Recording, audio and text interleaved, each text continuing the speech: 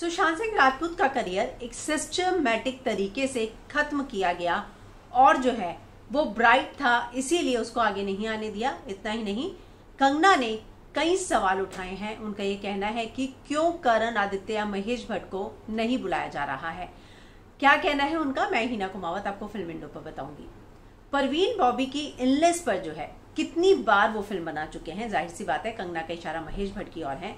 कि वो अभी तक उनकी इलनेस पर फ़िल्म बना रहे हैं? बार बार वो उसकी इलनेस को कितना सेल करेंगे? So many version he has made he is making so many film और इतना ही नहीं they will do the same with Sushant Singh Rajput तो उनका ये कहना है कंगना का कि महेश भट्ट ने परवीन बॉबी पर कितनी सारी फ़िल्में बना दी, कितने वर्जन बनाए, वो उनकी बीमारी को जो है बेचते हैं सेल करते हैं, और अब जो है सुशांत का भी यही होगा।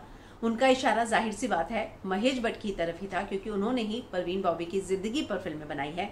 वो आगे कहती हैं कि एक सिस्टमेटिक तरीके से जो है, सुशांत को साइडलाइन किया गया। इस फ़िल्म इंडस्ट्री में वो ब्राइट थे, बहुत आगे जा रहे थे, और जो है, यहाँ के लोगों को ब्राइट पीपल से ही ज़्यादा थ्रेटनिंग होती है। वो जो ब्राइट होता है, उससे डर जाते हैं और सिस्टमेटिकली जो है, उसको साइडलाइन कर देते हैं। और उसके सुशांत के साथ भी यही हुआ सिस्टमेटिकली उसके करियर को जो है किल किया गया धीरे धीरे जो है उसे साइडलाइन किया गया।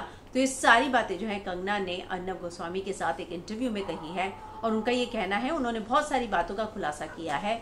उन्होंने ये भी कहा है कि जिस तरह से 90s में एक गैंग होता था और उसके बाद जो है जब 2016 में उन्होंने नेपोटिज्म के बारे में आवाज़ उठानी शुरू की और उसके बाद अब भी वो आवाज़ उठाती है तो किस तरह से जो है पावरफुल लॉबी जो है, वो उनसे नाराज़ होती है और उनका जो है नुकसान होता है तो ये सारी चीज़ों पर जो है उन्होंने खुलकर बात की है, लेकिन उन्होंने ये कहा है कि अगर मेरा जितना भी बयान है सुशांत को लेकर, उनमें से कुछ भी बात गलत हो तो मैं अपना पद्मश्री जो है वापस देने के लिए तैयार हूँ। उन्होंने ये भी बताया कि मुंबई पुलिस जो है उनसे पूछताछ करना चाहती थी, लेकिन वो मनाली में है। उन्होंने कहा, अगर वो किसी को भेज सके तो वो मनाली में जो है अपना बयान दर्ज करा सकती है।